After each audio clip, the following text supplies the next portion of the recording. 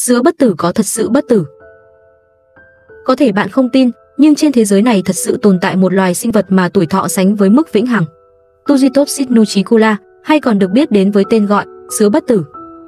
Tujitopsis nuchicula có thể tìm thấy ở khắp các đại dương, chúng phân bố trên toàn thế giới. Mặc dù gọi là sứa, có hình dạng giống con sứa, nhưng nó hoàn toàn không phải là loài sứa. Sứa bất tử thực chất là một loài thủy tức siêu nhỏ, kích cỡ chỉ bé hơn 1 cm. Nó sở hữu cơ thể phát quang gần như trong suốt. Dạ dày bên trong nổi bật một khối đỏ tươi. Số xúc tua lên đến khoảng 80 hoặc 90 ở thể trưởng thành. Và đặc biệt nhất, nó sở hữu khả năng bất tử độc nhất không có ở bất cứ loài sinh vật nào khác. Bí mật của sự trường sinh này nằm ở khả năng quay ngược vòng đời. Sau khi đã trưởng thành và giao phối, cơ thể nó sẽ tự thực một quá trình phát triển gọi là sự chuyển dịch tế bào. Nói cách khác là biến đổi dạng tế bào này sang dạng tế bào khác, từ tế bào già biến thành tế bào trẻ. Ở đây, giống của loài sứa bất tử sẽ được chuyển hóa thành các polyp trong nhóm mới.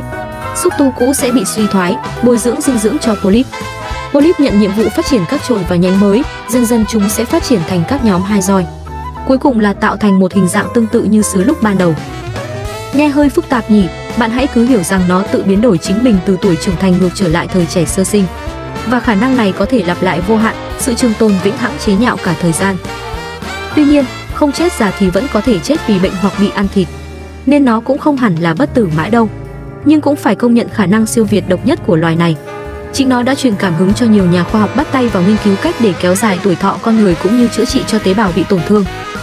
Like và subscribe hoặc mua hàng trong link để ủng hộ kênh ra tiếp video nữa nhé.